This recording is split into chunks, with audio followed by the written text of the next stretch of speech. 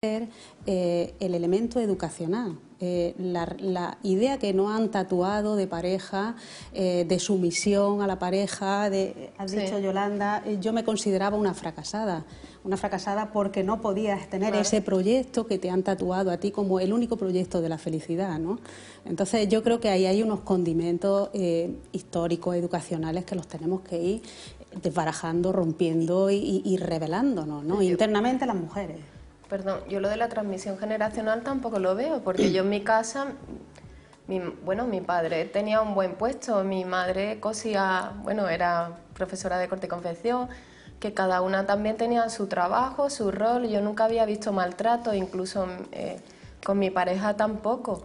Claro, en eso sí. decir que no es tanto de, la transmisión de comportamientos, mm pero ni incluso de las costumbres de cada familia.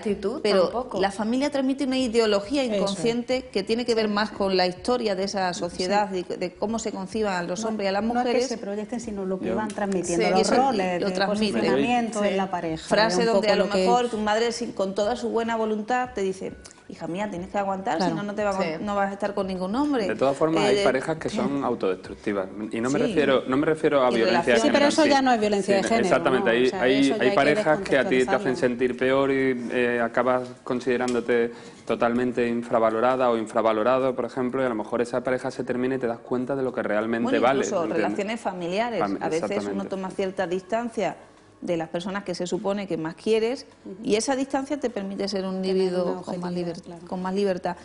Me gustaría que habláramos también de qué situaciones agravan el maltrato, porque hay situaciones